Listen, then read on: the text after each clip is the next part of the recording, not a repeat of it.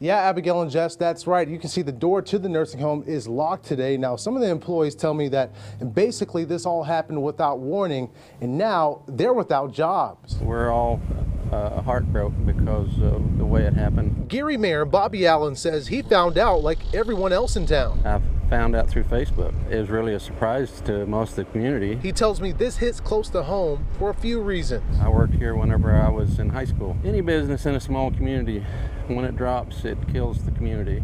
So I hope somebody will come in and uh, pick it up and take it over. At least 16 residents transferred to other nursing facilities, most of them miles away. The next one would be Okeene or uh, Binger or El Reno.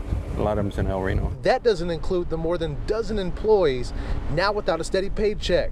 I spoke with some off camera today who told me not only did they have no idea this was coming, they worry about how they'll pay their bills. In Geary, Paris Jones, KOCO 5 News.